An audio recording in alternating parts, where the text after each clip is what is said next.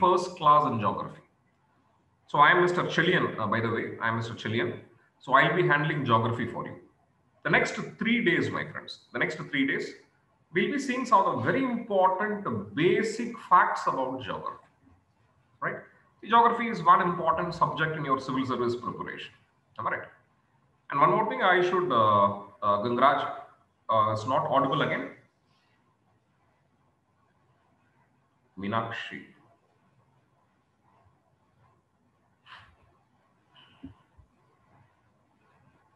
It's audible. It's audible. Uh, right. Admin, kindly check the connection of Meenakshi individually. You can uh, message her. Okay, right, my friends. Okay. So first of all, uh, right, I appreciate. Uh, see, for example, your aspiration of becoming a civil servant, right? And one more thing, I understand. See, this uh, examination is one of the toughest examination in this world, right? No denial. Nobody is going to deny it. But if you ask me who can clear this examination, I would say anybody. Anybody with perseverance and a smart work. To be very precise, a person who can able to do hard work and channelized in a right direction, we call them as what? Smart work. Right. So I understand that it means that these are the essence of becoming a very successful, right? Say for example, becoming successful in this examination. Right, my dear friends, right? Not taking much of the time in, say, for example, talking about the examination and the preparation mode, directly I'll start with this subject called as geography. Okay, right. Now, what I'll do today, I'll just give you a general idea about this subject. What is this subject, geography? And one more thing, see, this subject is not new to you. Am I right? Uh, already you have, uh, say, for example, uh, already you have studied geography till class 10 some of you would have studied geography in college. Okay, forget about the college. When I talk about the commonality, everybody would have studied geography till, class 10. Am I right?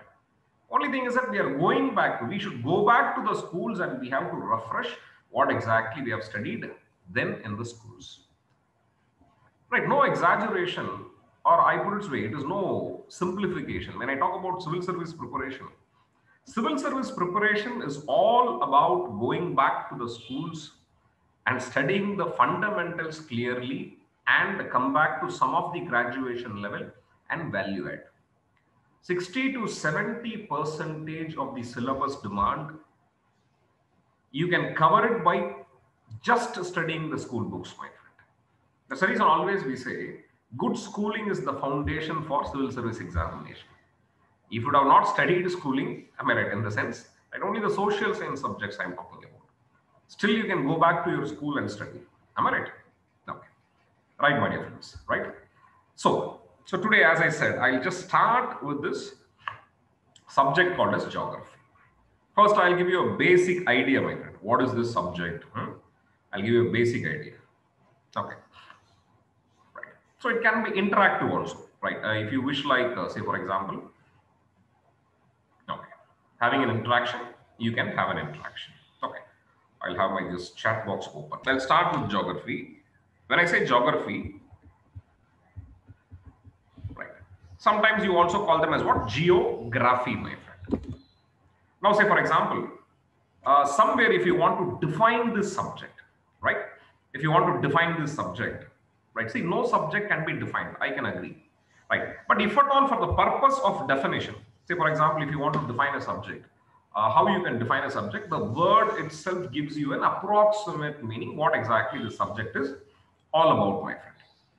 So in that regard if you ask me okay what is this geography i would say you can split into two words. Am i right? Geo and graphy my friend.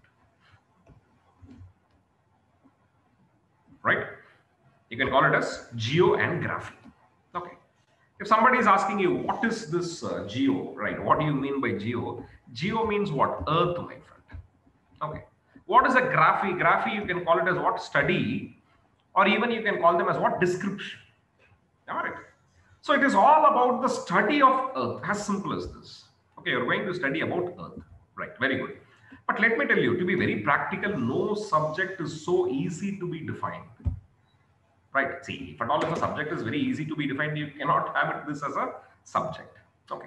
But whatever be the case, But if you ask me, okay, how many divisions are there? If at all, if I'm just say, for example, studying geography, uh, irrespective of the factor, right, which examination I'm just preparing for, if you ask me how many divisions are there, my dear friends, geography has two major divisions or area. What are they, if you ask me? I would say it is physical geography of the world. It is physical geography, right? Not world, forget about this word, right? Physical geography. And number two, you call them as what? Human geography, my friend. Right? You call them as what? Human geography. These are the two major divisions of geography, my friend. That is one you call them as what? Physical geography. And two, you call them as what? Human geography. Now comes the greatest question, right? Okay, fine. What is that I am going to study in this human geography and physical geography? Physical geography, my dear friends, you'll be studying about Earth. Right? You'll be studying about Earth. When it comes to human geography, you'll be studying about world. So you'll be wondering, right? What is this? Don't you think that both these words are same? No. My dear friends, both these words are very closely resembling each other. Nobody is denying that fact. But they have their own difference in meaning. Right. I'll tell you, my friend, what exactly is the meaning? Say, for example, I'll put it this way. Instead of, say, for example, talking about this earth and world difference, okay, I will put it in this way. Okay, every day, right, you use these words, correct? Sometimes I use a word called as house. Okay. Sometimes I refer the same entity as a home, my friend. Right. Now comes the question, do you have any difference between these two words, my friend? House and home. Obviously, yes. They have their own difference in meaning. If that is the case, you tell me, right, what is this house and when this house you call it as a home, my friend? I have a reason for asking this question. I'll connect it later. I'll connect it later. On what occasion, right? This entity you call it as a house, and what occasion you this entity you call them as what world. Very good. House is just a structure. Mandara. Very good. Fantastic. Right. House is just a structure, and home is where the emotions are. emotions are. Okay, fine. Right. Uh, when we start living in the means when we start living, you call it as a home. Very good. Right. Uh, Chetan, fantastic. Right. Uh, house may be rented or owned. Not exactly. Home is where we have homely feeling. if someone lives in house, you call it as home. Okay. Right. Very good. When human lives in the home, very good, fantastic. Anusha, that's beautiful. My dear friend, what is this house and what is this home? Let me tell you, my friend. See, for example,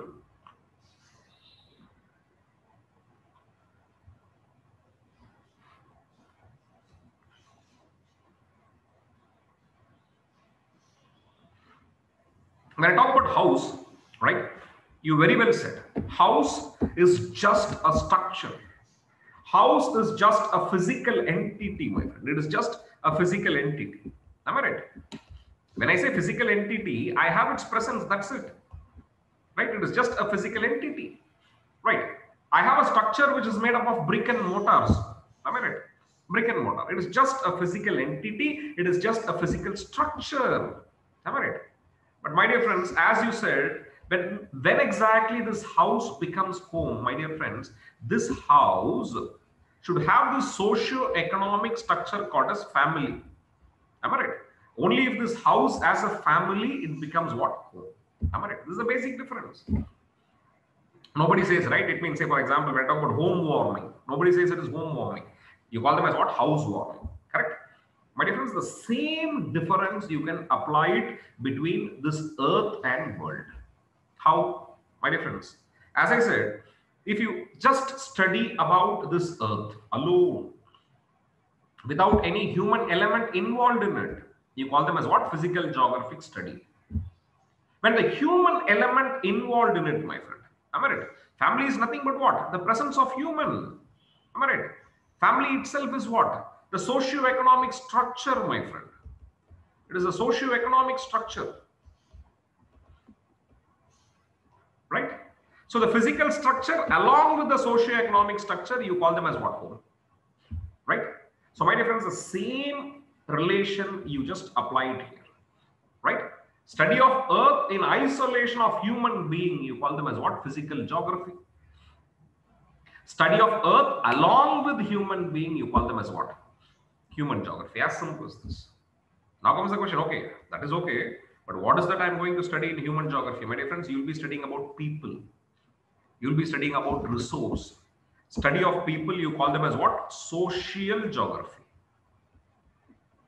You call them as what? Social geography. You're going to study about people, right?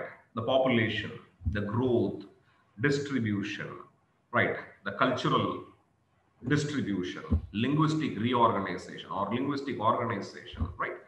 Right. This is what spatial means. So when I talk about uh, the spatial distribution of people, right? Simply you're going to study about people. On the other hand, what else you'll be talking about? I'll be talking about the resource. Study of resource, I call them as what? Economic geography. You call them as what? Economic geography. Right? We are going to study about resources. Otherwise, it is also called as resource geography. Correct? That's the reason, my friend, this human geography is sometimes also called as socio economic geography. It is also called as socio-economic geography. Right, my friend? So then why do we call housewife but not home wife? That's a good question, Praveen Kumar. Right. Chale, okay. Some sociologist should be answering this question. Okay. Okay. Right, my dear friends. So what are the different divisions in geography? We have an idea. What are the divisions? Either I can have two divisions or I can have three divisions. If I say two divisions, what are they? Physical and human geography.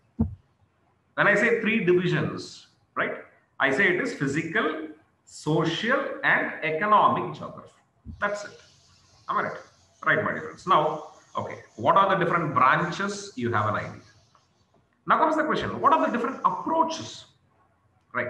How can I approach this subject? If you ask me, what is the different approaches?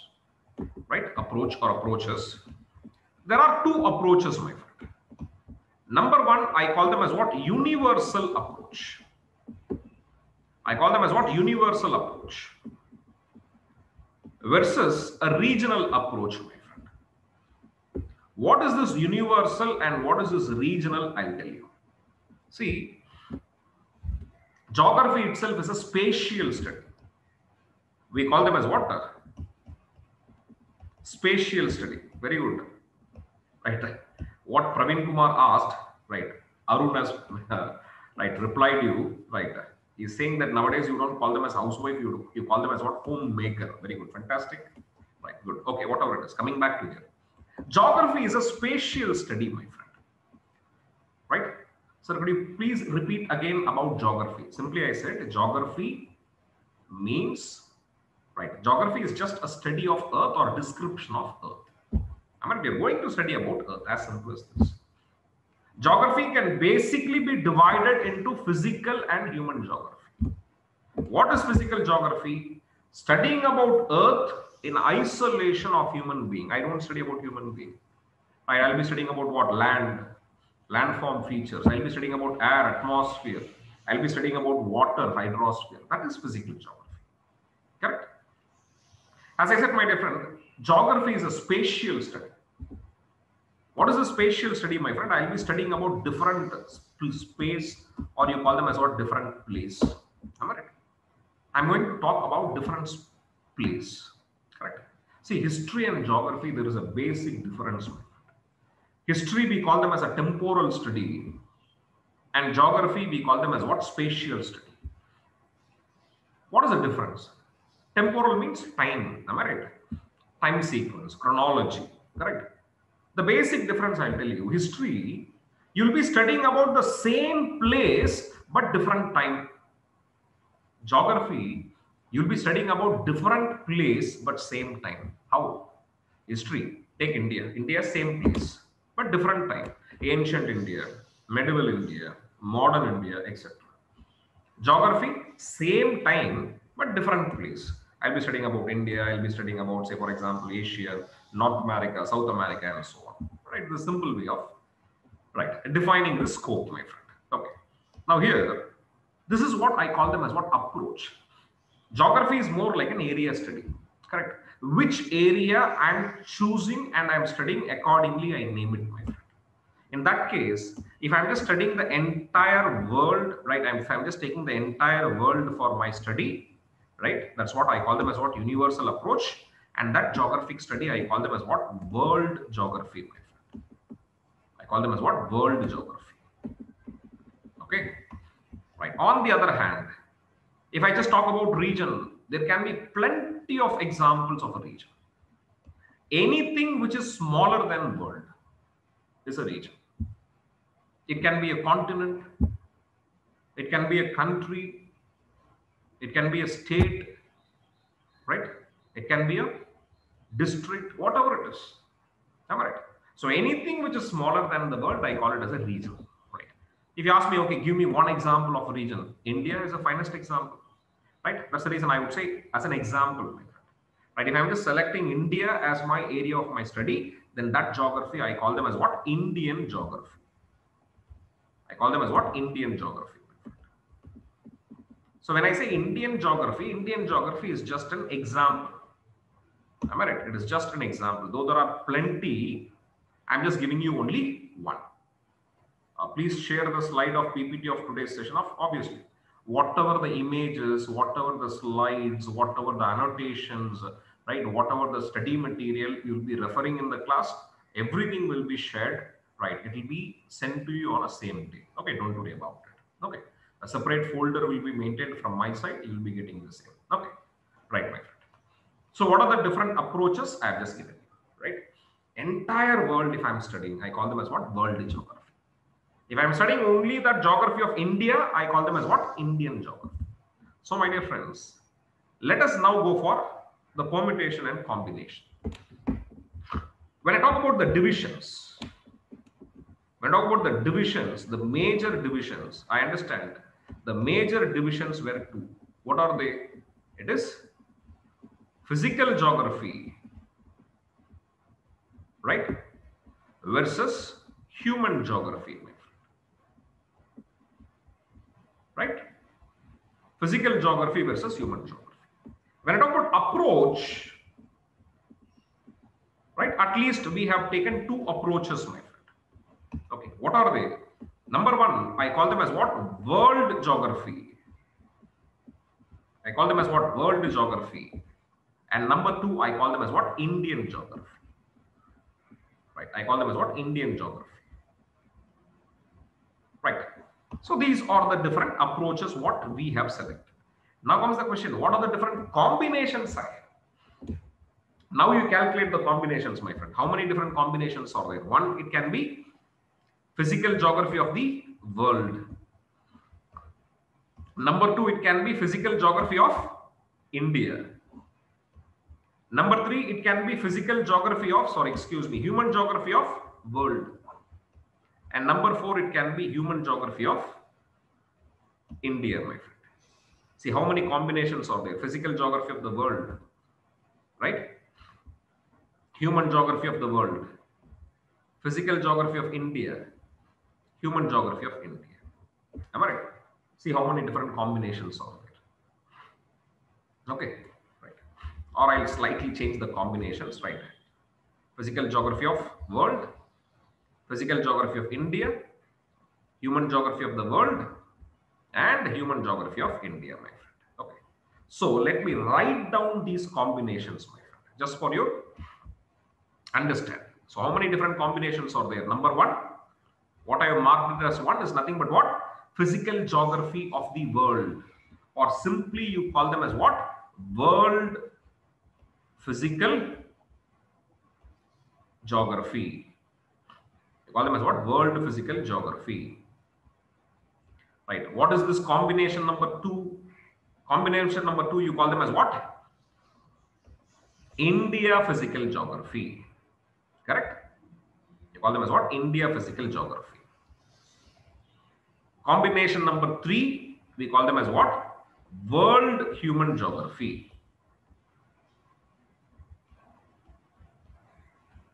Correct. And combination number four, I call them as what? India human geography. Correct. You call them as what? India human geography. My dear friends, irrespective of the examination you are preparing for, irrespective, not necessarily that you are preparing for civil service examination, right? Irrespective of the examination you're preparing for, if you're preparing for geography, my dear friends, what are the different areas you will study if you ask me, right? These are the broad areas you'll be studying, my friend, right? What are the broad areas of my study will be, right? You'll be studying about physical geography of the world, physical geography of India, human geography of the world, and human geography of India. Even if you take the NCERT, NCERT will be having the same divisions. Okay. But let me tell you, my friend, for examination purpose, which is very important if you ask me, this physical geography and physical geography of the world and human geography of the world will be very important. To be very precise, the physical geographic study is very, very important for you. In the civil service preparation, it is very, very important. Okay, right. Now, what I have just given, right? What exactly I have just given you a picture is the overall idea about geography. What is geography? What are the different branches I have in geography? What will I be studying in this branch? Right? And what are the different approaches I can have? And taking the combination, how many different areas will I be studying? Right? We have decoded it. Entire preparation, any book you take it, right? Right. Even when I talk about the heading of the book, the heading of the book will be relevant to this particular four topics, my friend, or the four, four broad areas. Okay. Right. I've just given you the overall picture of geography. Right. Now what I'll do, my friend, we'll just take with the basic facts. I thought of uh, uh, going for this exercise called as a decoding of the syllabus. That is very important. Because, uh, see, uh, any examination, irrespective of the examination you go for, right, understanding the syllabus is very, very important. Because without understanding the syllabus, right, normally people study very hard, my friend. I have seen people, mean students, right, studying for 10 hours, 10 hours they sit, they study, right. I don't question their hard work, but when it comes to success, they were not able to succeed. If you understand where exactly they are making the mistake, it is very simple. They don't have the understanding of the syllabus. Only if you understand the syllabus, you will know what is important and what is not important. What is that I should read and what is that I should not read, right? If you want to make a distinction there, you should know the syllabus. Right. So every class I start with the decoding of the syllabus, but for you, I'm not starting with decoding of the syllabus. Uh, once the, say for example, the regular classes starts there, the first class I'll be starting with the decoding of the syllabus. Of course, right. I believe the decoding of the syllabus is ultimately important, very, very important, my friend. Okay. So I'll be doing this decoding of the syllabus. What is this decoding? Trying to understand what are the subtopics of the syllabus. Very important. Without knowing what is the syllabus, this preparation becomes very daisy, my friend. It will be very gloomy, right? If you want a smart work to be done, syllabus understanding is must. Okay. Okay. However, whatever it is, right? We'll be doing the same when the regular classes starts. Okay. Right, my dear. So what I'll do, I'll just start with the very basic facts about geography, my friend. Very basic facts. What is the shape of the earth? Right? What do you mean by uh, earth movement? What do you mean by rotation? What do you mean by revolution, etc. Am I right? See, all these things appears very simple. you would have studied in schools, I agree. But here we are going to add some values to it. We are going to add values to it. Okay, right. Right. So let's start geography. Geography, as you know, it's a study of Earth, right? So we'll add some of the very important information regarding this Earth. Okay. Now, somewhere, even if you want to take notes, you can take it. And one more thing, uh, for taking notes, if you ask me what will be the best uh, way of say for example taking notes right, uh, for effective notes, I'll tell you what I normally prescribe, my friend, the format what I prescribe. You always use a A4 sheet size paper, my friend. Okay. Right. Let it be a A4 size paper. Okay. Why a A4 size paper? I'll tell you because this is the same size of paper that is right. Say for example, prescribed in for your mains examination, UPSC mains examination. So you also try writing the class notes in this format. And my dear friends, till the offline classes opens, right? Online is the only way where we can interact and we cannot delay the process, am I right? More you delay the process, right? You preparing for the examination becomes very difficult. But online class, we have the greatest constraint. Am I right? Only thing is that I am just looking at a camera and I am just speaking, assuming that, right, almost say, for example, the larger crowd is sitting on the other side, right? Somewhere I am just imagining, right?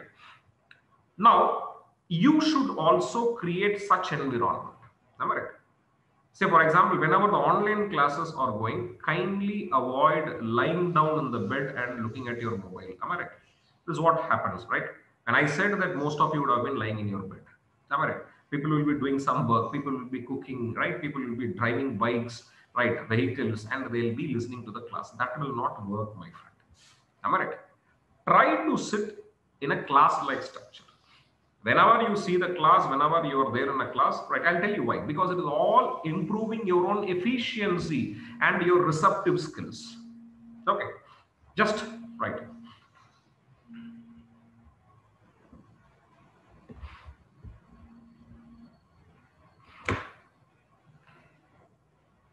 Right right. See and one more thing use laptops uh, avoid mobiles. Why i tell you because the mobile the screen will be very very small right? And you following things becomes little difficult. Okay. And sit with a notes my friend right? Wherever you'll be able to take some notes. Okay. And i prefer that you sit with a4 sheets like loose sheets or you take uh, any book. Am i right? Long sized right? Long unruled book my friend. And my suggestion always try to divide this page into two unequal halves, right? One side you can divide into two third of the page, another side it is one third of a page, my friend. Am I right? Two third and one third. If you ask me why, say for example, whatever, when I talk about the class notes, my friend, this is the place where you have to take class notes. Am I right? Class notes. Okay. I'll tell you why I am just uh, asking you to take class notes in this two third. I'll tell you because this one third, you can use it for value addition, my friend. Right? Not today, but at the later stage. Say, for example, you are studying some newspaper.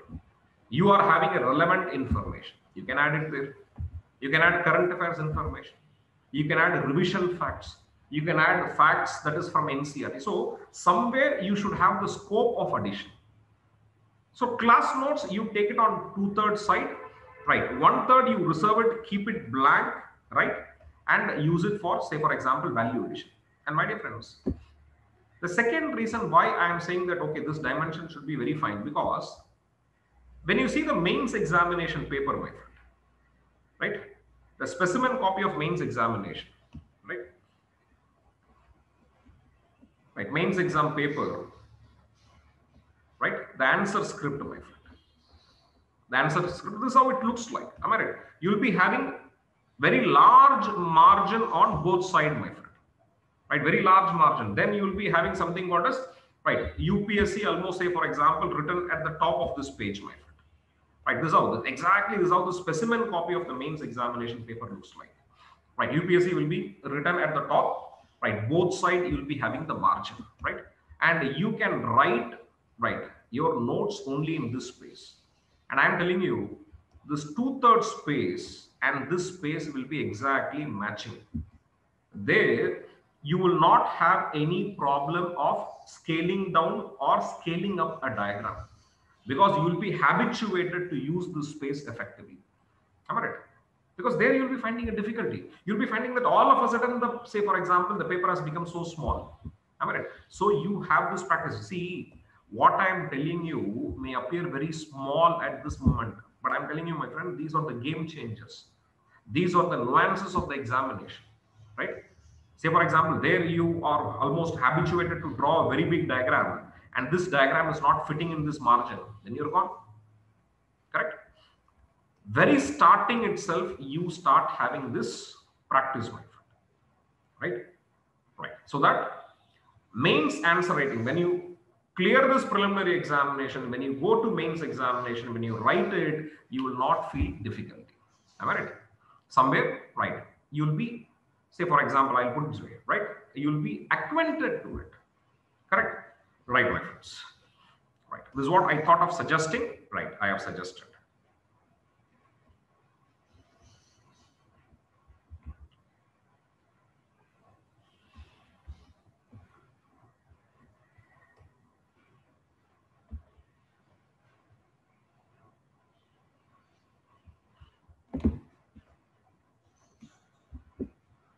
Uh, meanwhile, some of your questions. Um,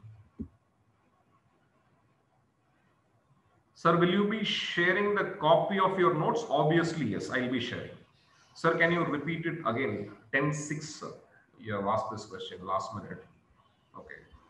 Even I do not know what exactly I was talking about. I was simply talking about, right, the mains examination pattern and how exactly your class notes should look like. Class notes are very important, my friend because the last uh, two years, the number of questions in the examination, mains preliminary examination, what came from our class notes was more than the fact what came from NCERT. Am I right? People were not able to answer the question, right, studying the NCERT, but people, mean students were able to answer the question with our class notes. So class notes is going to be very important. So have a very neat class notes, my friend. Okay. So how exactly the class notes can be prepared, written, I have just given you the structure. Okay. Right, my friends. Now, right. Uh, let me talk about, uh, right.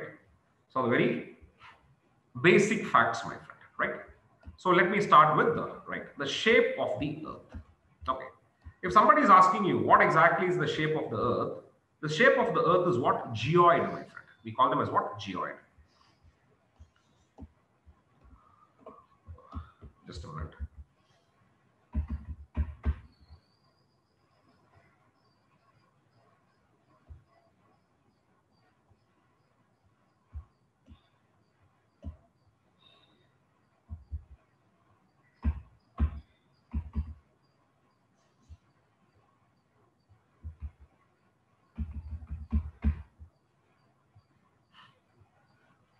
Okay.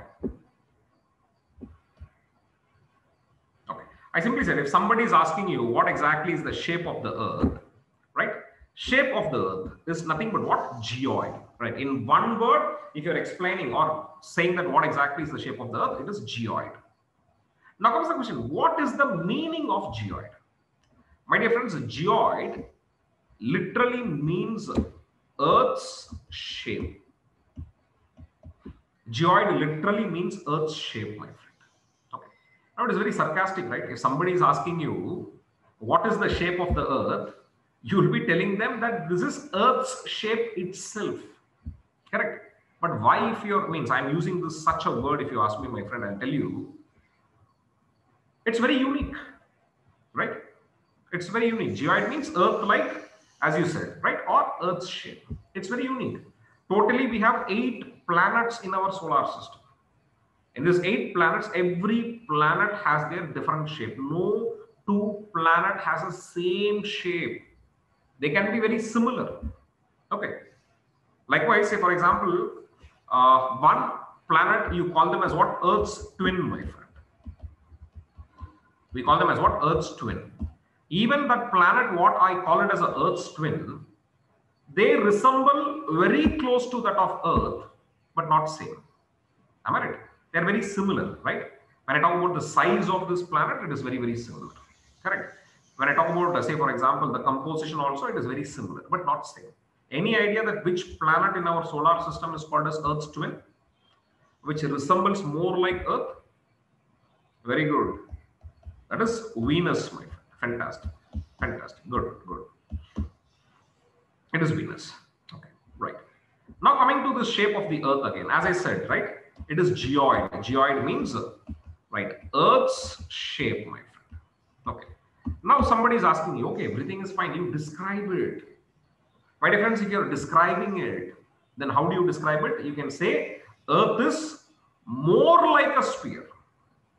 Earth is more like a sphere, right? More like a sphere, but with a bulge at equator.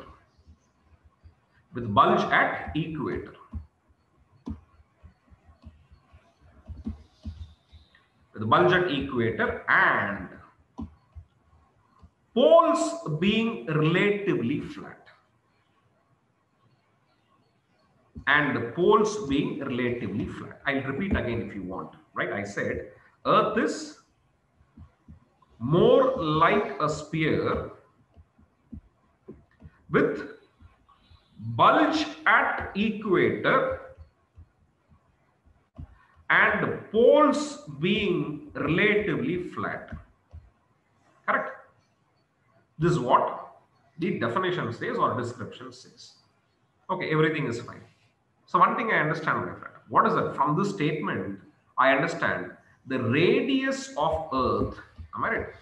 This radius of Earth is not uniform. Everywhere the radius of the Earth is different. Right? I have just given you two statements, right? With bulge at equator and poles being very flat. It means where exactly you have the maximum radius of the Earth, if you ask me, right maximum radius of the earth is recorded at equator where the minimum radius is recorded minimum radius is recorded at poles right it is recorded at poles my friend very important this fact and all fact is not important when it comes to upsc concepts are important see your state public service commission the things may be different but when it comes to upsc the concepts are more important than what? The facts. But still, right, if you're asking, okay, what is a fact? My dear friends, when I talk about equatorial diameter, this equatorial diameter is somewhere around 12,756 kilometers. 12,756 kilometers. When I talk about polar diameter, it is 12,714 kilometers. It means between them, you have a difference of what? 42 kilometers. Polar diameter is 42 kilometers less than that of equatorial diameter. Right. If I'm just talking in terms of radius, there is a difference of 21 kilometers. Equatorial region, the radius is 21 kilometer more than that of poles. That's the idea. Okay. right. So one, I said the radius is not uniform. But however, you ask me, okay, if you're asking, then what is the average radius of Earth? If you ask me what is average radius of Earth, and it is somewhere around 6,378 kilometers, my friend. Is it necessary to remember the numerical values, right, uh, Rohini? No. Approximation is the key approximately you try to remember. See, even if you can remember, right, the radius of Earth is slightly more than 6,000 kilometers, I am happy. As simple as this, I am happy. If you feel that, okay, it is more than 6,000 kilometers, if you say, that is okay. Right, exactly remembering these facts are not important. But here, if you ask me what is important, what is important? Remembering that equatorial region has maximum radius, that is important. Remembering polar regions are having the least radius, that is important. Okay, right. So what is the shape of the earth? Some of the values, right, just to justify it, we have given it. Now comes the biggest question, my friend. Why? Always you have a, have a habit of asking why, right? Even if somebody says, right, uh, okay, this is my name, so and so, you ask them why. Okay, right. We have we are habituated asking this word called as why. Okay, let us ask it. Right? Why? Why the radius of Earth is not uniform? Right? Why exactly there is a bulge at equator? Why there is a bulge at equator? My friend, Earth is fast rotating. Am I right? Any fast rotating object cannot be a perfect sphere. Simple. You take a spherical balloon, my friend. Right? Right. You take a spherical balloon, very strong balloon. Right. Fill this balloon with water. Am I right? Fill this balloon with water, you throw it in the air. When you're throwing it in the air, almost it will be more spherical. Am I right? But if you throw this balloon in the air with a little spin in it, right? If you start spinning it, it will not be sphere, right? This balloon will start bulging towards the outside. Am I right? Say, for example, that's what very popularly you call them as what? Right. Centrifugal force, Centrifugal force, right? Any rotating object, there will be a force which is acting outside the center, away from the center. See, for example, if you ask me what is the principle based on which your clothes in washing machine is dried, am I right? You'll be finding the drum rotates very fast. Am I right? It rotates very, very fast. Right? Then the water will be thrown, right? Detached from the clothes and it will be thrown. Why? Centrifugal force. My dear friends, any fast rotating object there will be a force acting outside the center. That is what you call them as what? Centrifugal force. Now, if you ask me why there is a bulge at equator, you have simple answer. That is nothing but what? Centrifugal force. Right, as simple as this. Right, why there is a bulge? I have answered it. Am I right? We ask me then why poles are flat? Simple. It's a compensation. Am I right? If somewhere something is bulging, it is always at the cost of some deficit. Am I right? So this bulge is concurrent with the poles becoming flat, my friend. Okay. The same rotation of the earth is making the poles to be flat because the rocks are being indirectly pulled from where? The polar regions. Okay. So let me sum up. What is the shape of the earth? Geoid. What is the literal meaning of geoid? Earth's shape. What is the description? Earth is more like a sphere with bulge at equator and poles are flat. Why there is a bulge at equator? Very important. Centrifugal force, not centripetal, my friend. I said it is centrifugal force. Could you please repeat the last point as my connection was reconnected? That's what I means. I'm, I'm just summarizing it. Okay. It's all because of what? Centrifugal force, right? That's all about, right, the shape of the, and let me tell you, my friend, no fast rotating object can be a perfect sphere. Am I right? And one more thing, see, if the velocity of rotation is more, right, the bulge will be more because centrifugal force will be more. Am I right? Simple. Okay. Now, my friends, all these basic facts, we have done it, right? And one more thing, when I talk about uh.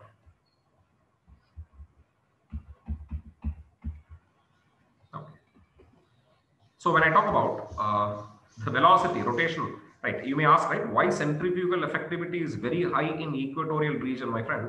What I have just marked it as a line. This is what I call them as what? Axis of rotation, right? Right? Axis of rotation, North Pole to South Pole, right? This is what you have the axis of rotation, right? Now here, if you ask me, right, if you're standing, see somebody, right, see, for representation purpose, different people are standing on the surface of the earth. Am I right? If you ask me, my friend, right, okay, I am just asking you, right, different people are standing at different locations. You tell me, right, a person standing at which location will travel a longer distance perimeter in one day, my friend. Time is same, same time, right? Who will travel a longer distance? A man standing where, my friend? The diagram is in front of you, right? You tell me a man standing where will travel a longer distance? Very good, equate. You know, speed is equal to distance by time. Here, time is constant. Am I right? One rotation, it is going to be 24 hours. Am I right? But who's going to travel a longer distance? A person who's going to stand at what equator, my friend? Am I right? So, what is the idea? If I'm just talking about the velocity of rotation at the surface, you tell me, okay, which place will have maximum velocity at the surface? Which place on the earth will have maximum velocity of movement, rotation, whatever you say on the surface? Undoubtedly, it is equator. Am I right? The velocity, right, right, velocity at which the surface moves at equator is somewhere around 1650 kilometer per hour. As you move towards the poles, it reduces. Why? Because I understand the radius with respect to the axis of rotation reduces. Okay. See, this much technicality is not needed. But I'm telling you why centrifugal force is more at equator because, right, the rotational velocity is more at equator. That's the answer. Correct? Okay. Right, my friends. So all about shape we have done. Now just moving further, my friend. Right? You call them as what? Earth movement. Right. You call them as what? Earth movement. Hey, what is this earth movement, sir? If you ask me, what is this earth movement? The combined movement of earth, that is rotation and revolution.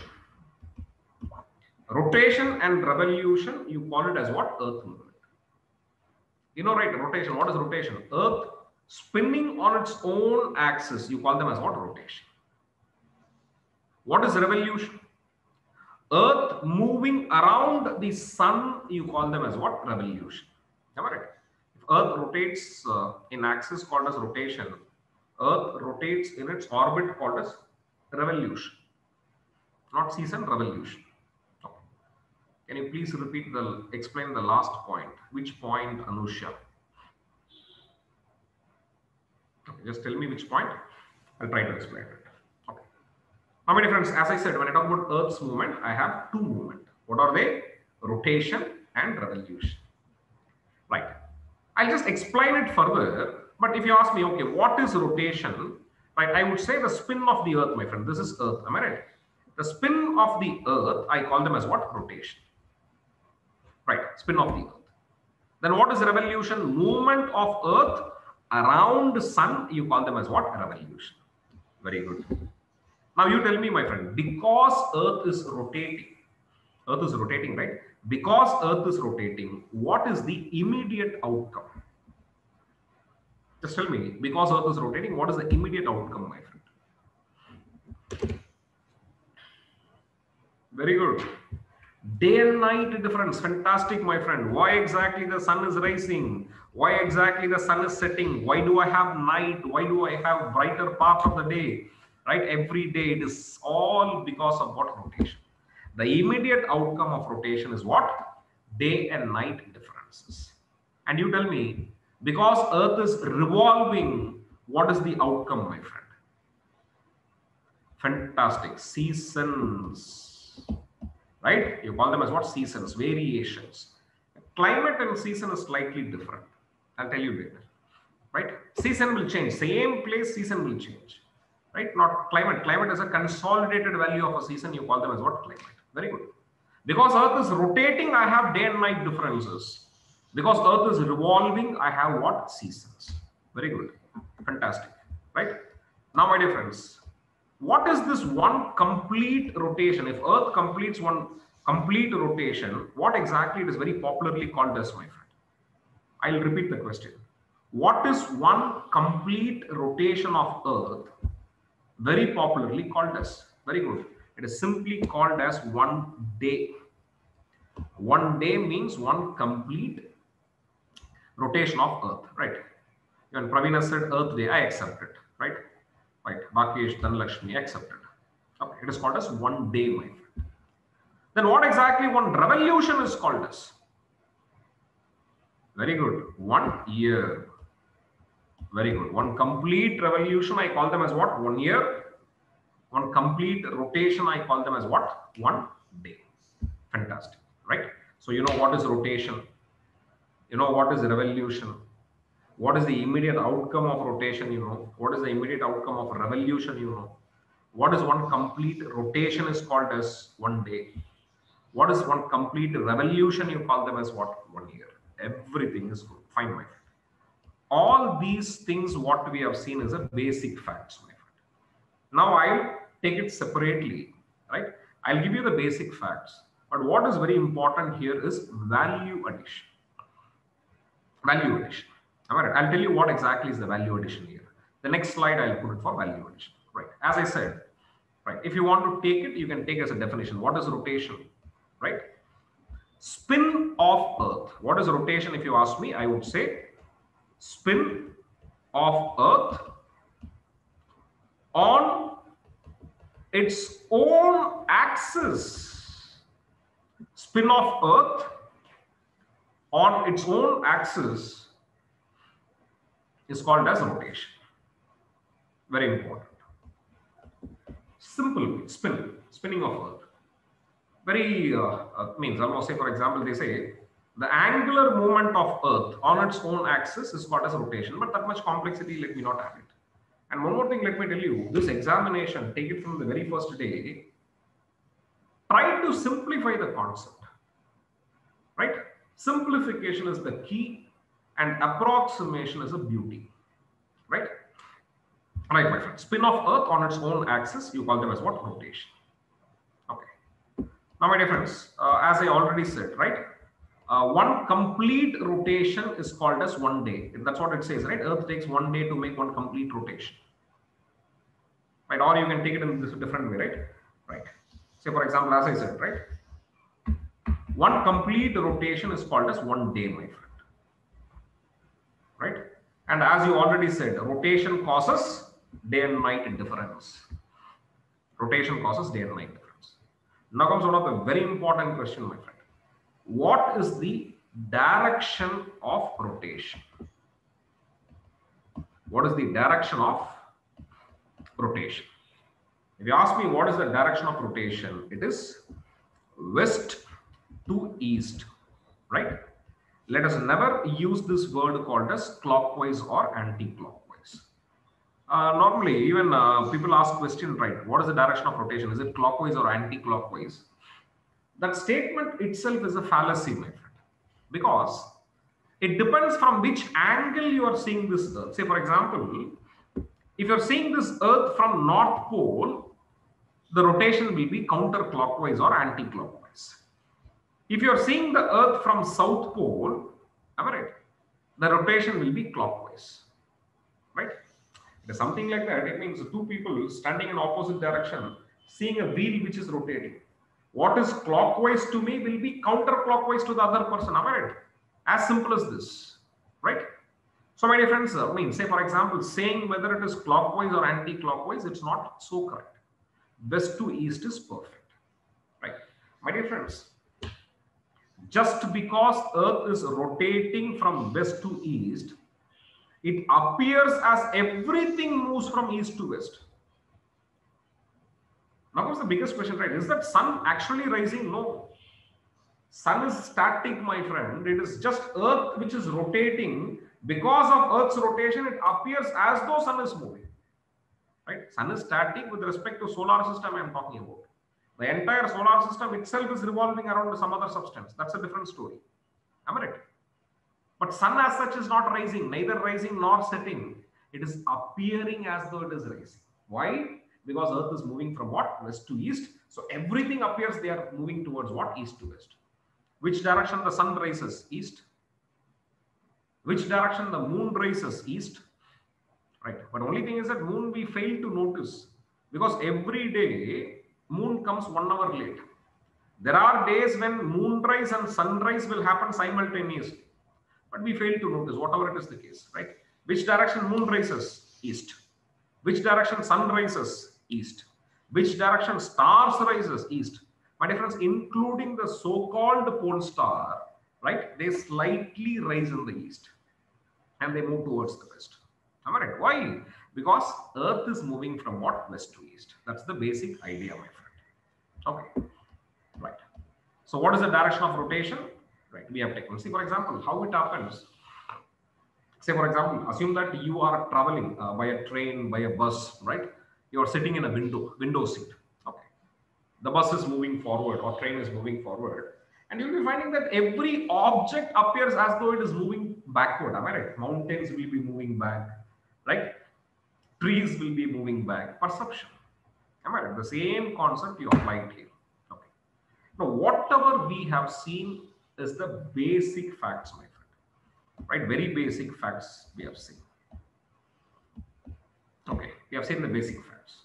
Now, my dear friends, uh, we will add, say, for example, slightly some complexities to it because Earth is rotating as well as revolving. Okay. Now, I am asking you one question. You have to simply answer me. Okay. The question appears as though it is very simple, right? But answer to this is not so simple. Okay. What is the question? Right. Right. How much time does Earth take? I'll write it. I'm just talking about rotation. The question is very simple, right? Time taken by Earth, time taken by Earth to complete complete 360 degree of rotation right on its own axis right? Questions appear as though it is simple but you have to tell me my friend. Time taken by earth to complete 360 degree of rotation on its own axis. What is that time?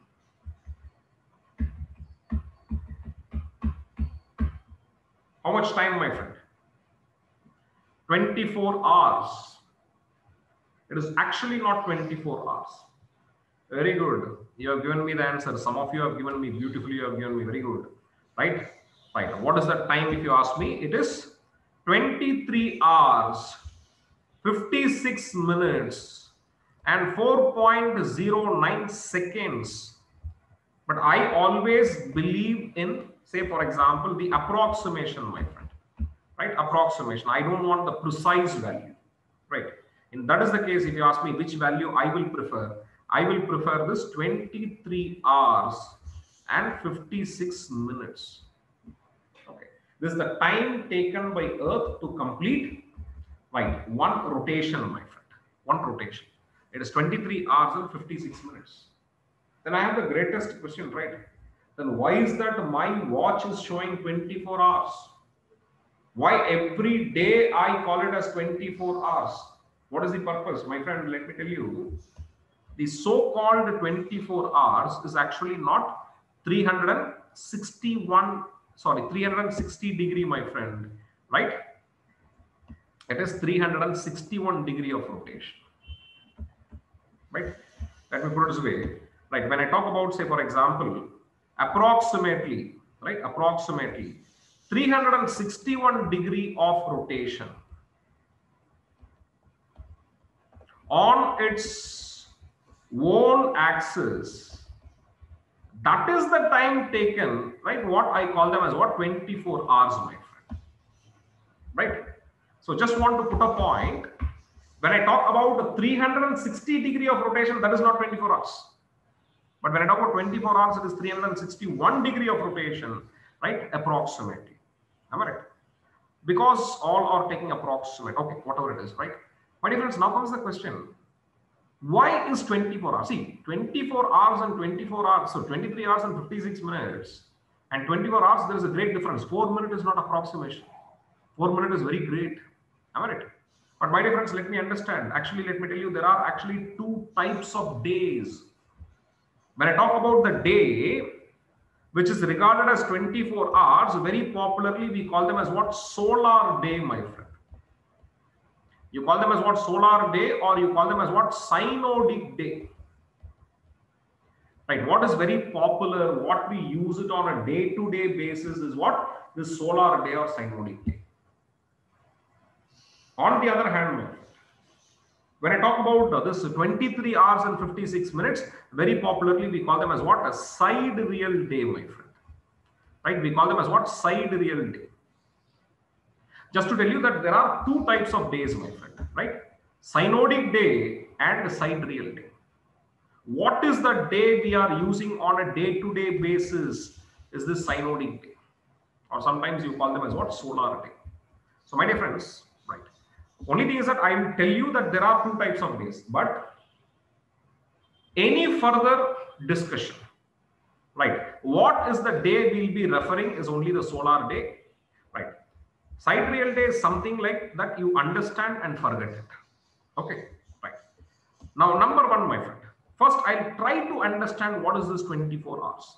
What is this sidereal day? Why sidereal day? Sorry, excuse me. What is the solar day? Why solar day is not 360 degree of rotation? We'll try to understand. For that, first and foremost, I should understand what is 24 hours, my friend. What is 24 hours? If somebody is asking you, how do you define 24 hours? See, one thing I know time itself is a relative position of sun in the sky, my friend. Am I right? Tidal effect, June 21st is called as longest day of this year. How and why? We'll come to it, don't worry. It's called as uh, summer solstice, June 21st. We say longest year, it is not the longest year for the entire earth. It is the longest day for northern hemisphere. Okay. Right, my friends. Now comes the question. 24 hours. How do you depict this 24 hours? I'll give you some of the choice, my friend. You tell me which is the best choice of depicting this 24 hours. Number one, A. Right? It is sunrise of today to sunrise of tomorrow. This is option one. Option B, my friend. It is sunset of today, right? To sunset of tomorrow.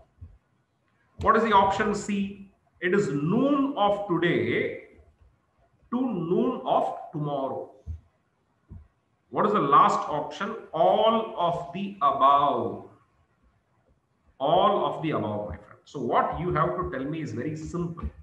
Among the four options, what I have given, right, you have to tell me which is the best option, my friend. Very good. Fantastic. Most of you have given me the right answer, right? Right. Very good, my friend. Noon to noon. Obviously, my friend.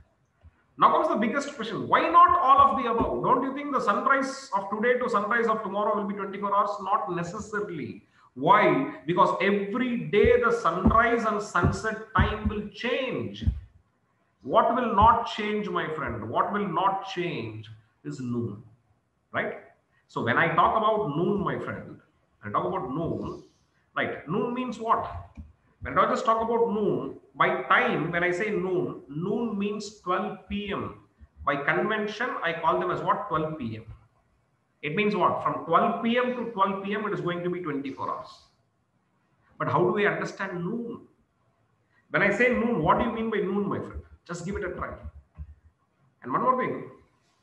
Whenever I talk about time, Time is all about describing where the sun is placed in the sky.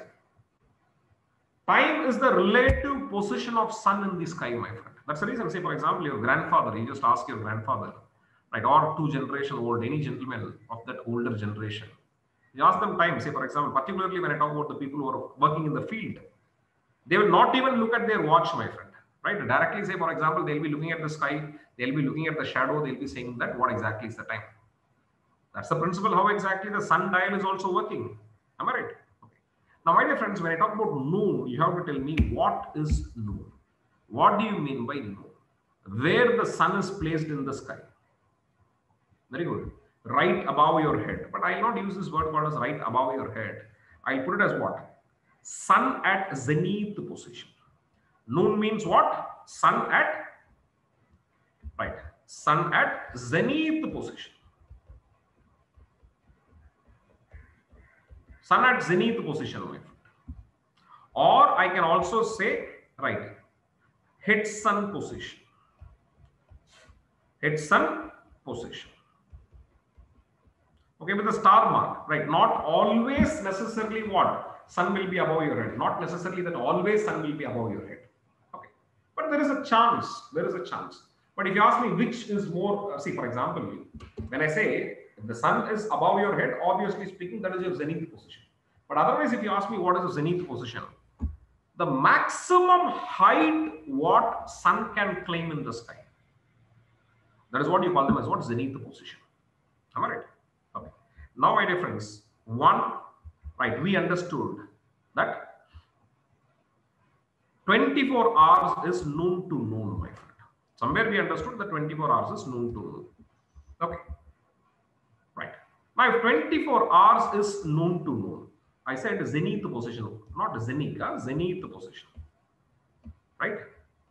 Zenith, zenith means maximum height what sun can climb in the sky. Highest point, as somebody said, right? Right, Tejeshwani has said it. Highest point what sun can climb. That's what I call them as what? Noon, right? On this particular day. Okay. That zenith position can also be above your head. Okay. Now, time being, time being, you consider that it is above your head. Okay. Time being above your head, my friend. Okay. Right. Okay. If that is the case, my friend. Right. See here. 24 hours. It means what? Noon of today to noon of tomorrow. Okay. Noon of today to noon of tomorrow.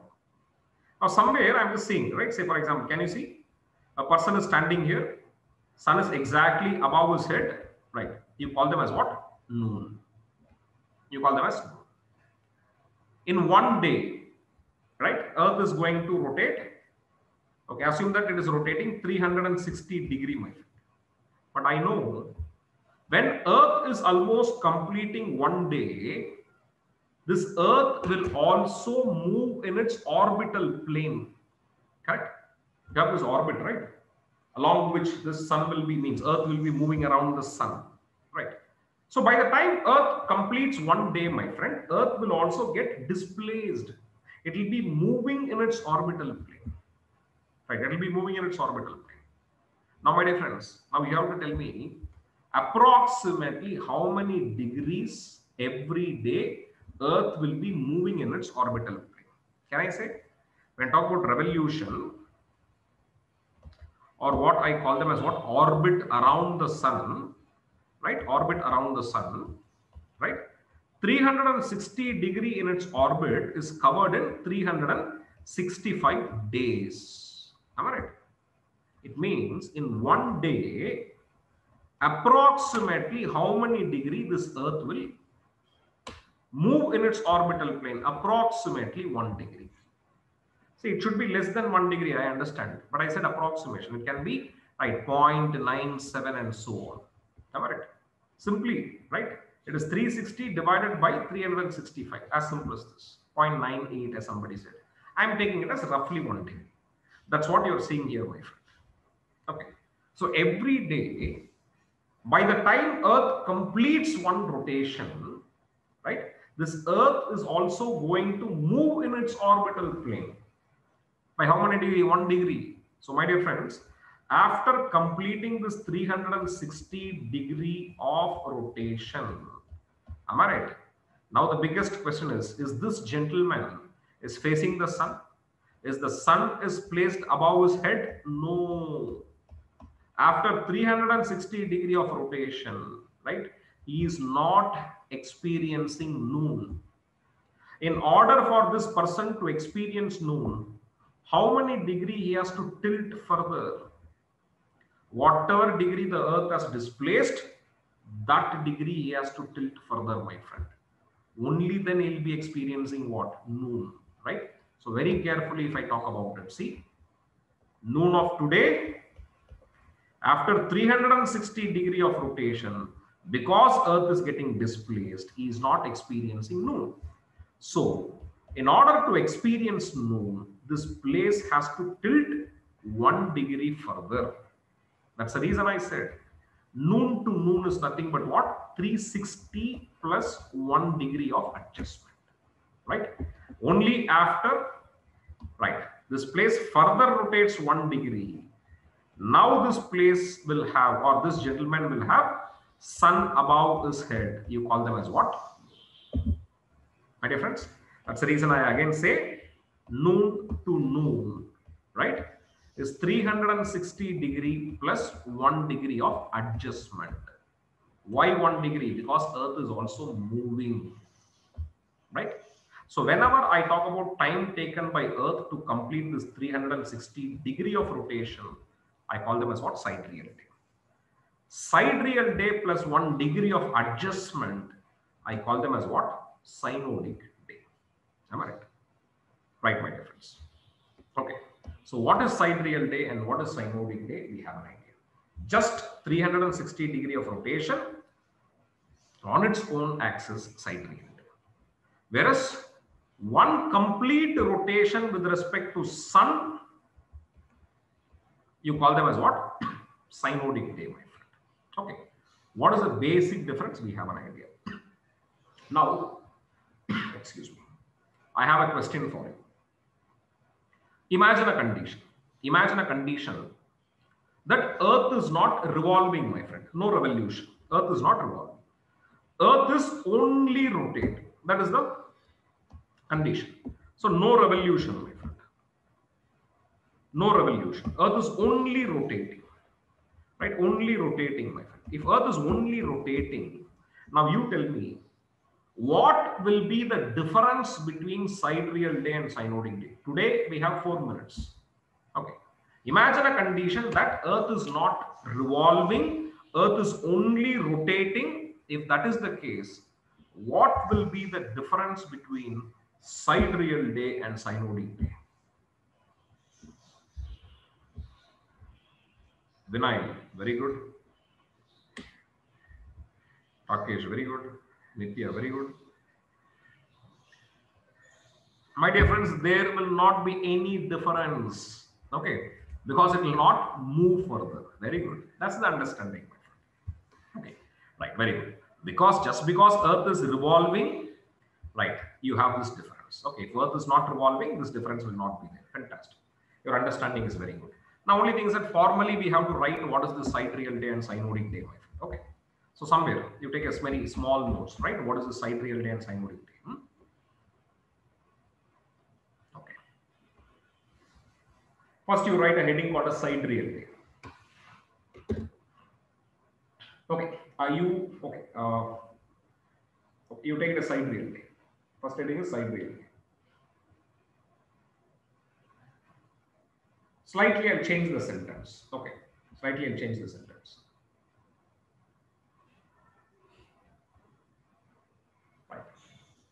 It is the time taken by Earth. It is the time taken by Earth. I repeat again. It is the time taken. You're going to write it as sidereal day. It is the time taken by Earth to complete, to complete 360 degree of rotation 360 degree of rotation on its own axis. On its own axis.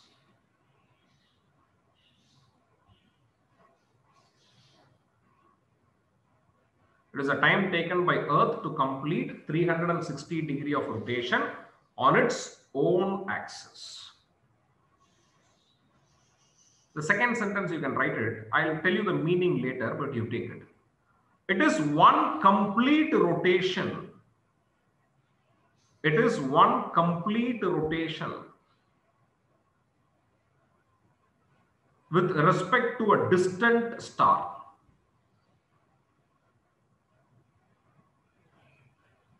It is one complete rotation with respect to a distant star. What is this distant star? I'll tell you later. Right. My dear friends, don't mistake distant star for sun. Sun is the nearest star. Distant star is almost the point of infinity, my friend. Okay. And the last point you can take it, it approximately takes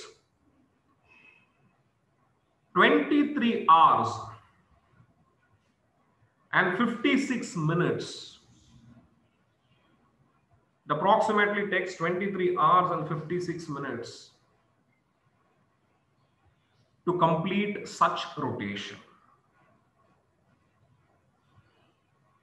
Okay. So what is sidereal day? We know. Only thing is a distant star. I'll let you know. Right. Now, second subtopic, you can take it as synodic or solar day.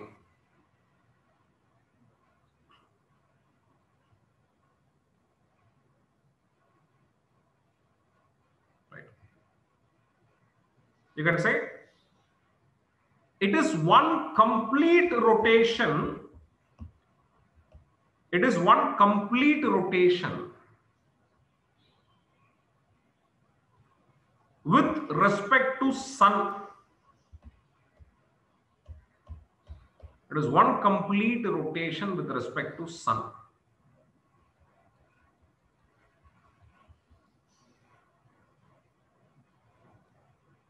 Within bracket, you write it as near star. Right? Where you have written sun, right? Right. I repeat, I said it is one complete rotation with respect to sun. Sun is nothing but what? Near star. Okay, sun is near star.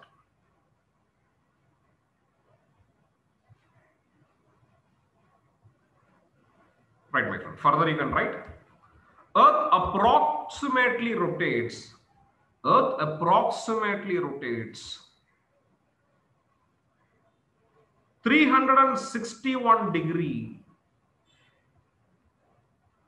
on its own axis. Earth approximately rotates 361 degree on its own axis. And precisely it takes 24 hours and precisely it takes 24 hours.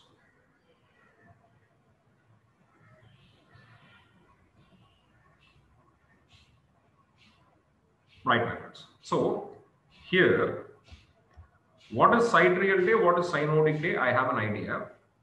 What is the best way of understanding it? Number one, one complete rotation on its own axis sidereal day.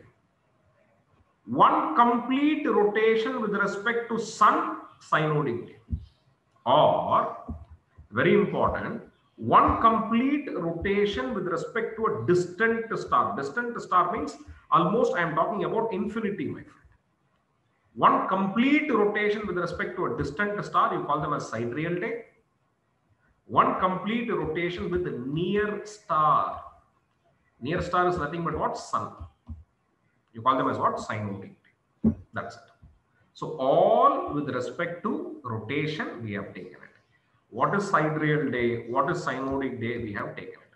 Right? 2016 CAPF examination conducted by UPSC. This question was asked. Okay. Right, friend. So it's all about rotation. Now rotation is over. Now coming to the next concept. It is revolution. Okay, revolution. Okay. What is revolution? You know, right? Just write the heading called as revolution. Just write the heading called as revolution. Movement of Earth. Movement of Earth around the sun. Movement of Earth around the sun in an elliptical orbit. Right? In an elliptical orbit. See this word called as elliptical orbit is just a value addition. Don't worry about it, right? I simply said movement of earth around the sun, right? In an elliptical orbit is called as revolution.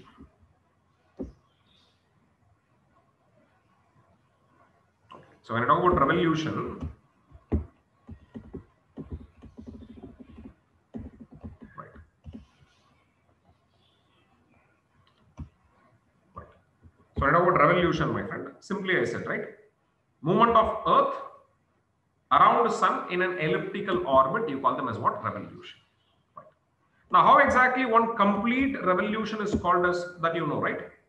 One complete revolution is very popularly called as one year, my friend. Right? You know this fact. Okay, you know this fact. Okay. Now I have the biggest question for you. Okay. How long is one year, my friend?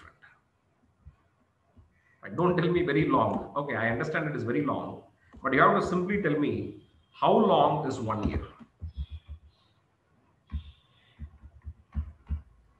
How much time does Earth take to complete one revolution? 365 days, 6 hours, 365 days. Ah, very good, fantastic. Right, you got me the answer. 365.25 days, 365 and quarter days. Very good. Some of you have given me the answer also. Okay. Now I'm just giving you a choice. You have to tell me, my friend, right? I'm just giving you a choice, right? What is a choice? Right. You got me. Some of them got me the perfect answer, right? You have to tell me what exactly is this? It is 365 days, right? And six hours. 365.25 days. 365 and quarter days or D, right? As expected, right? Instead of all of the above, I am using this word called as none of the above. Surprising, right? Tell me, my friend, here, which is the best option here? Option A, option B, right?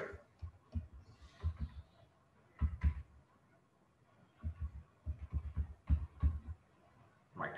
So which is the best option here? Right.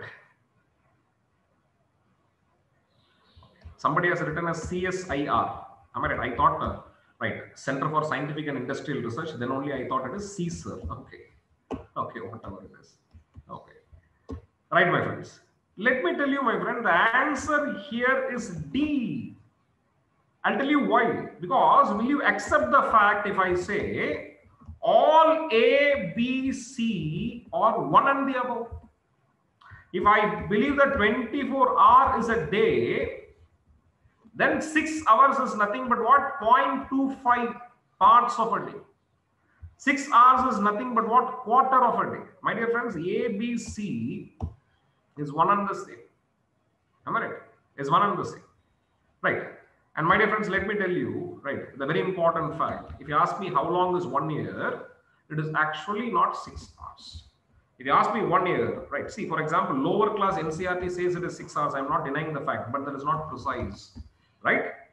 Right. If you ask me how long is one year, my dear friends, it is 365 days, right? Five hours, 48 minutes, and 46 seconds. This is what the length of one year is all about, my friend. I mean, see, it is not the fact that we do not know about it. We know it is all about the practicality. We are considering this as, right, six hours, my friend. Now comes the question. Everything is fine. Everything is fine.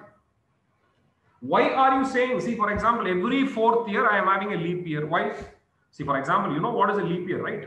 See, when I talk about a leap year, right? If you talk about a leap year, my friend, right? Every fourth year is going to be a leap year. Am I right? Everybody knows it, right? Everybody knows it, my friend, right?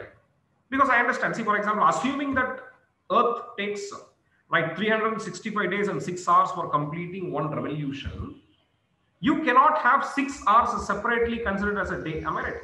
You cannot have it. So what do you do? Every year, you start accumulating six hours, six hours, six hours, and six hours. So what happens once in four years? This four six hours gets accumulated and makes it one full day, my friend. That's the reason on this leap year, my friend, you will be having right instead of 365 days, you will be having 366 days, right? Now I have a question for you, my friend. How to identify a leap year or not? See, for example, if I'm just saying year 2020, the last year, no denial, everybody knows that it is a leap year. Because I understand, simply you divide it by 4, check it whether it is divisible by 4. If yes, yes, it is a leap year. What about 2016? That is also a leap year. What about 2004? That is also a leap year. What about 2000, my friend? The year 2000. Was it a leap year? Year 2000, my friend. Obviously speaking, yes, it is leap year. Correct? It is a leap year. Now the biggest question comes, okay, what about 1904? This is also divisible by 4. Am I right? Only take the last two digit and check whether it is divisible by 4. That is also a leap year. Am I right? But very interestingly, 1900 is not a leap year. Right? 1800 AD is not a leap year.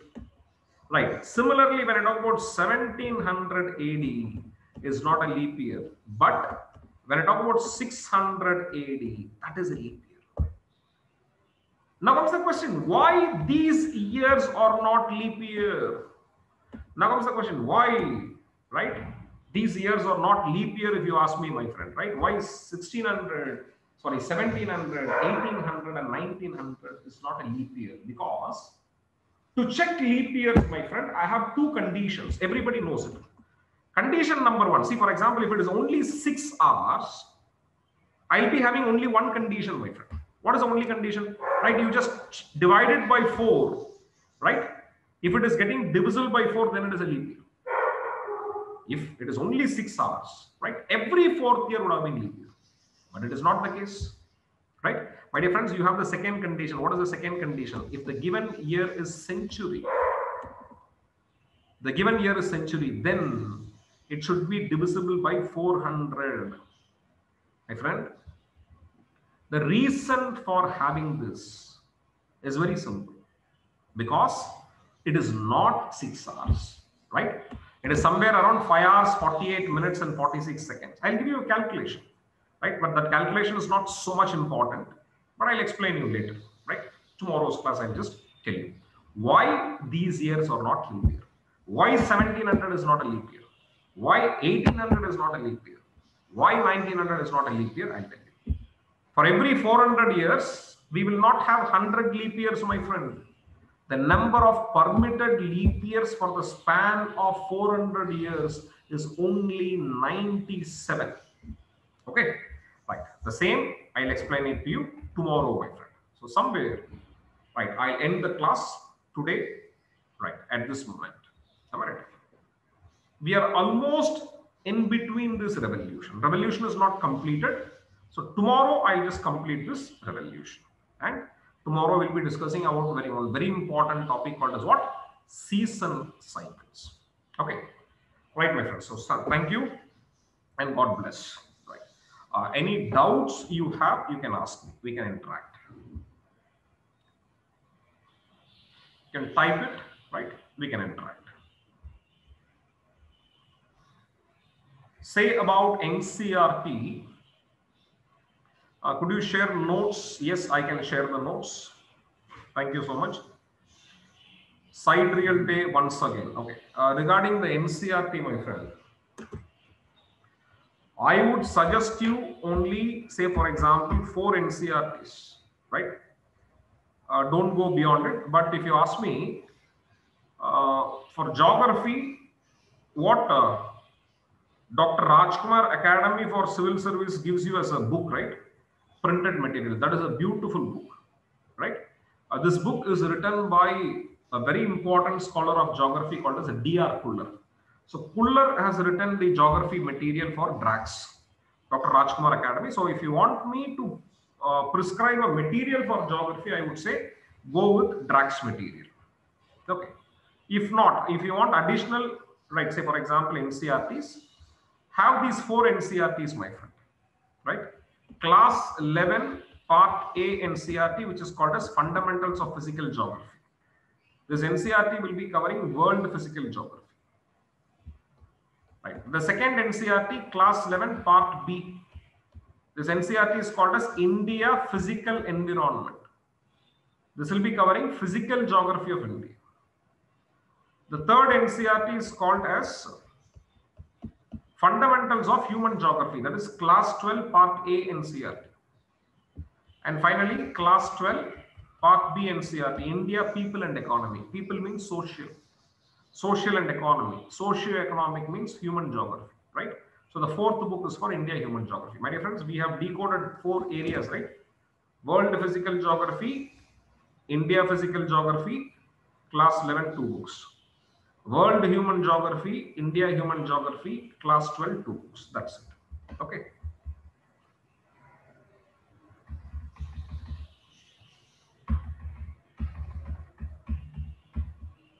Right. Some of the other doubts, yeah, I'll just answer one, one by one your doubts.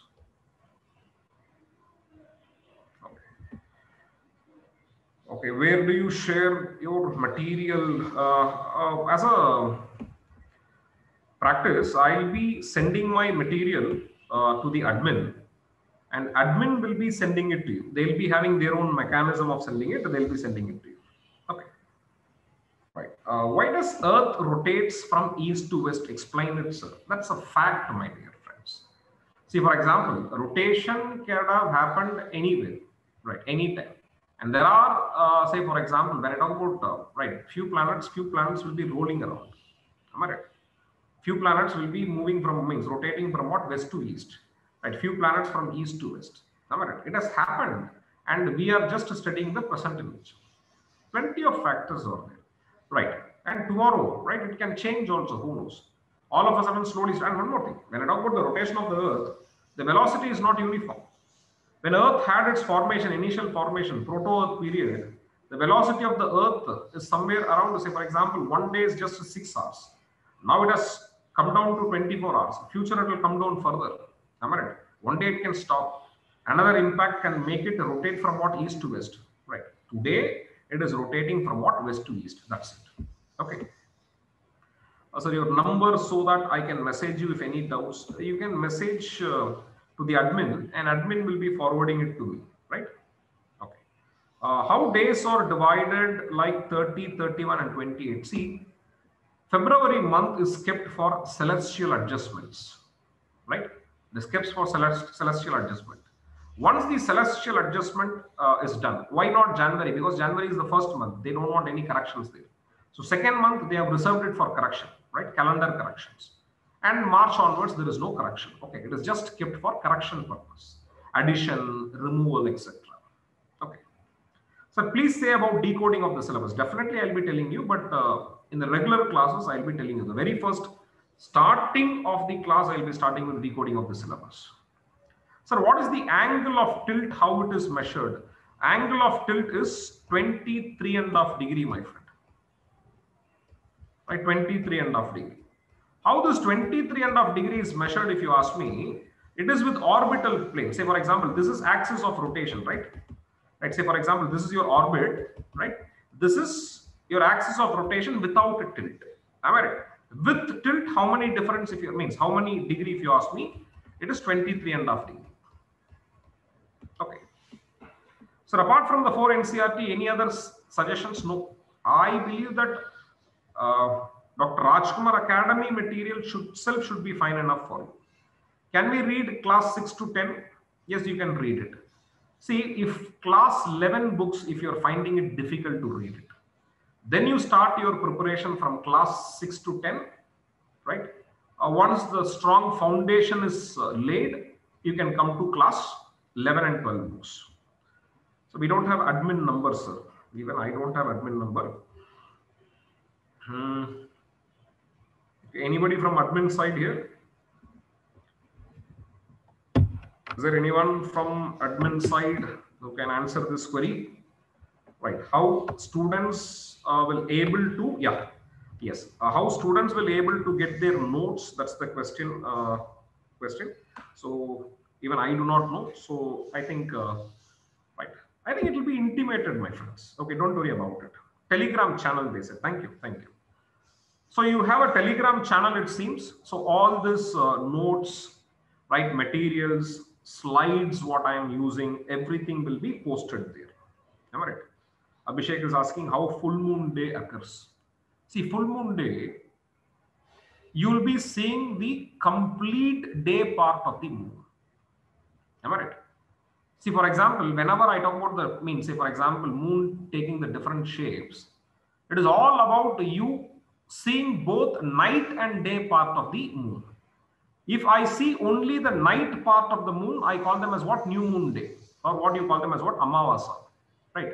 If I just see the complete day part of the moon, I call them as what? Full moon day. Right? We'll be talking about it. Okay, don't worry about it. Right. So why we say the nearest star earlier? What is that question? Why we say nearest star earlier? Uh, Shankar, Suraj Shankar, I'm not getting the question. Yeah, again. So why we say nearest star earlier in the diagram? Mm. Which diagram is it?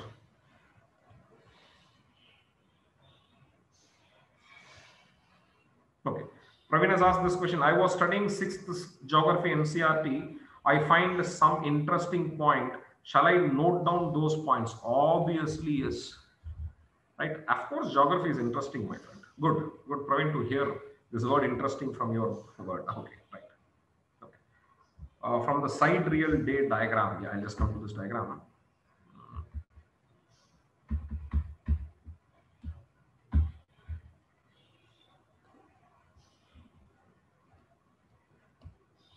Okay. Uh,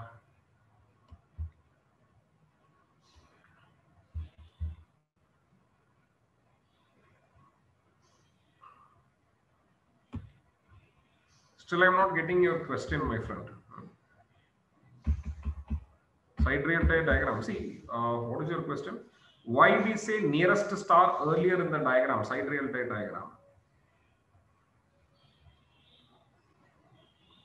distant star sorry okay okay distant star nothing see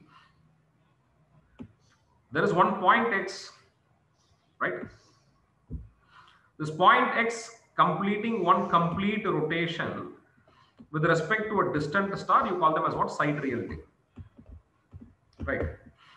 One complete rotation with respect to sun you call them as what? Solar day. Only two sides we are showing it. That's it. One side I am showing you the sidereal day, one side I am just showing you the solar day. That's it.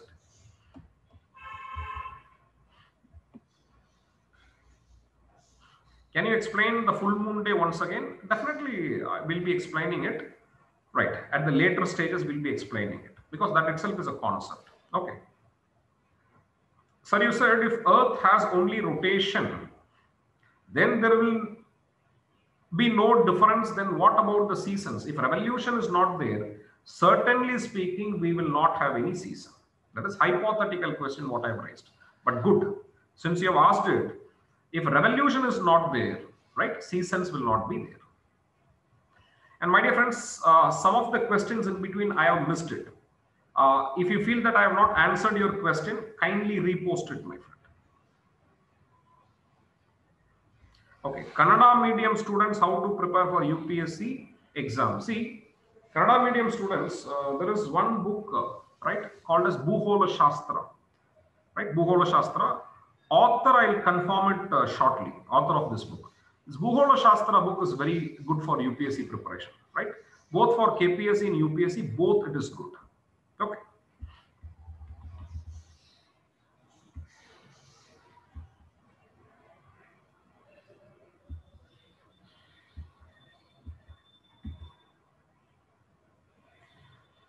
Right, Abhishek. Dr. Rajkumar Academy books are enough in exam point of view, or we should study extra for book two? No.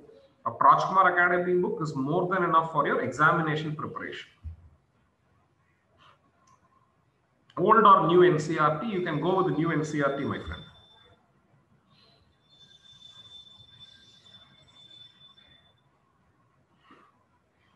Sir, is NCERT is enough for geography, shall we need any value addition from further notes? See, choice is yours. Either you go for NCERT plus class notes or Dr. Rajkumar Academy books along with class notes. Either of it should be sufficient.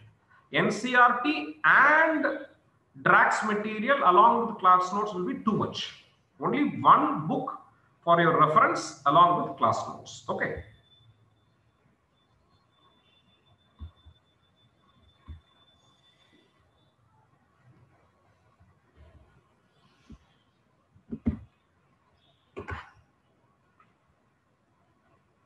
So why is that synodic day is considered and why not sidereal day? See, because whenever I talk about day, see what is time? Time itself is a relative position of sun in the sky. So our time comes with the sun, not with the star. Right? That's the reason we are just going for synodic day, not for sidereal day. Okay. Sir, what to study in GC Leong? Uh, is reading full book necessary? Not needed. I will tell you what are the topics to be concentrated in GC Leong. What are the page numbers that has to be concentrated in GC Leong? I'll tell you. Entire book is not needed.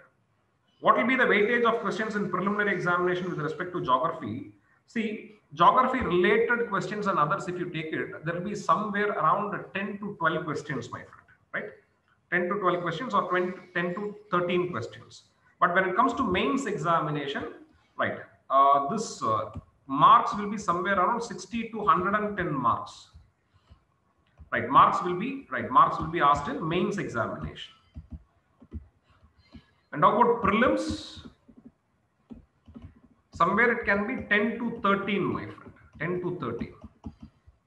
Okay. How about GC Leong book? Yes, I have answered. Explain the noon to noon concept once again, sir. Yeah. I'll just come to it later, boss. Get noon to noon concept. Sir, should we buy both old and new NCERT? No, sir. It becomes, see, you have to keep your study material as simple as possible. Do not go for too many material. Too many cook will spoil the soup, right? Okay. Why don't we feel rotation and revolution? Once you go out of the earth, once you go to the moon, right? Once you travel to the moon, you will feel rotation and revolution. Am I right? Because you are also revolving and rotating along with the earth, you will not move, means you will not feel my friend. Once you go to the moon, you will start feeling the rotation. Once you go out of the, say, for example, right, some other planet, if you go to the Mars, right, you will find that earth is revolving. Okay. 10 to 13 question in prelims on what basis they be asked, sir? Basis means?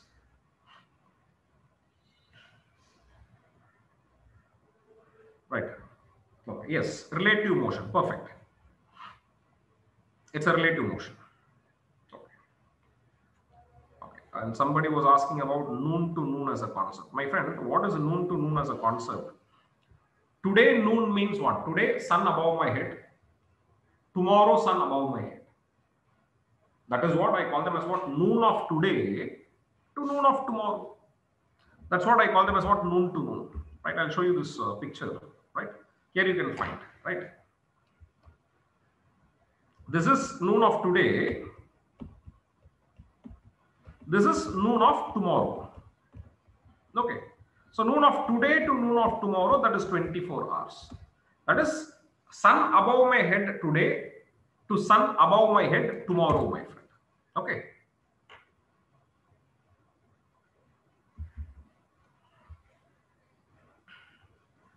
And one more question. Somebody was asking, yeah, what is the other question you asked? A brief about rotation. See, what is rotation? Spin of Earth. Assume that this is Earth, my friend. Am I right? This Earth is spinning. One complete spin, you call them as what? One day.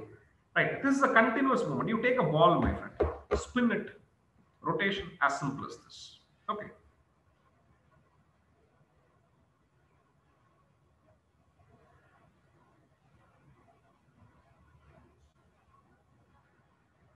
A minimum distance I need to travel to experience rotation. Go beyond, right? Or I'm sorry, escape from this earth, right?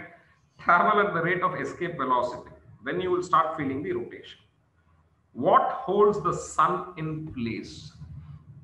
It's a relative gravity, my friend.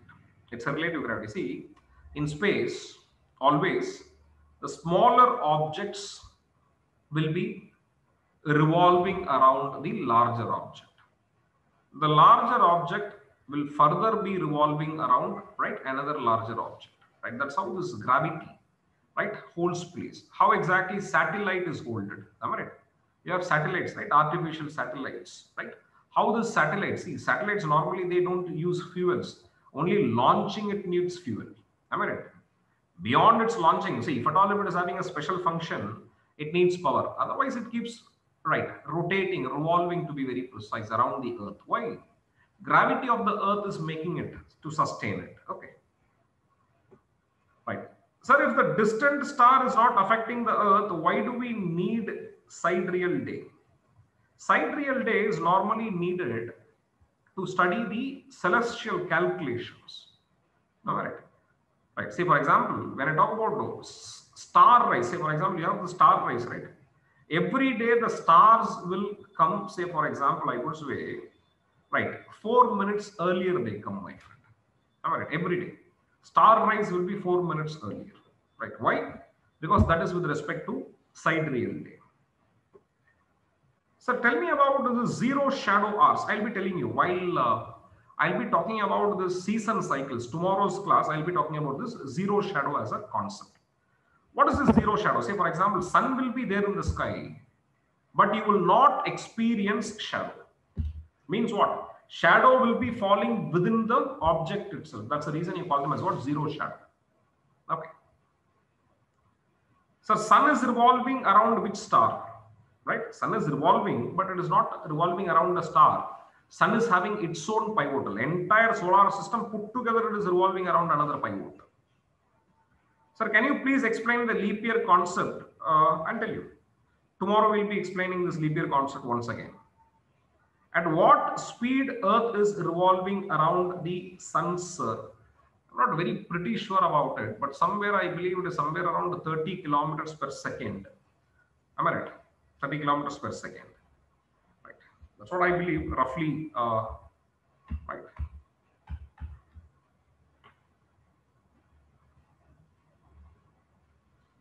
Right. What you're saying is revolutionary velocity.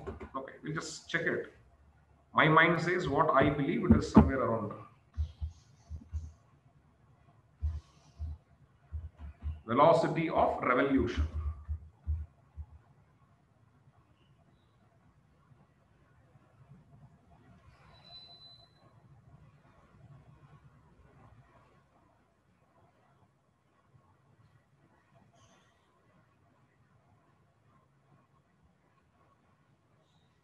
Yes. Velocity of revolution, if you can see, it is 30 kilometers per second, my friend. Somewhere you can see, right? Speed of revolution, it is 30 kilometers per second.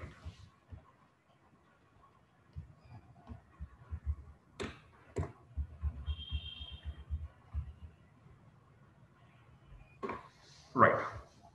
Uh, okay. Sir, what about El Nino and La Nina?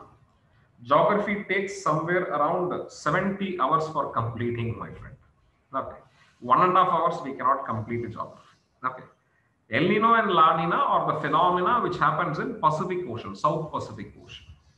Normal condition, you call them as La Nina. Reversed condition, you call them as what? El Nino. So this El Nino and La Nina has the direct impact in affecting this Indian monsoon. So we'll be studying at the later stage. So some technical issue here uh, made you host. You can end anytime you wish, Dr. Sudhakar. Thank you, doctor. Right. So I would wish to end now itself. Okay, right. Uh, regular classes means offline classes, sir. Uh, see, this is uh, even I do not know. Offline, I would means we would like to be in offline classes. Okay, uh, sir. How long is one year exactly then? as I said you, right? 365 days, 5 hours, 48 minutes, and 46 seconds, my friend. I think I have just given you that value. Yep. Okay. Right, my friends, there ends the discussion today. So tomorrow we'll catch you up, right? And some of the topics I'll be discussing tomorrow, I'll tell you. If possible, you read it, just Google, just search it in Google and come. Rest of the revolution I'll be covering. I'll be covering the topic called the season cycle. What is season? Why do we have season? Right. Then four important days of a season we'll be covering it. What are they? Right. The June 21st. Am I right? June 21st. Right. Summer solstice, winter solstice, equinox position will be discussing it. Okay. So kindly prepare, right, for those topic and come to class. If at all, if you're uh, coming prepared to the class, right, what happens generally, your receptive skills will be high. Okay, right, season sign. This is what we are going to discuss tomorrow. Right, my dear friends. So somewhere I'll just stop the discussion here today. Right, it's really great uh, interacting with you. Right, happy to see you. Right, I'm wishing you all the best for your career and civil service preparation. Thank you and God bless.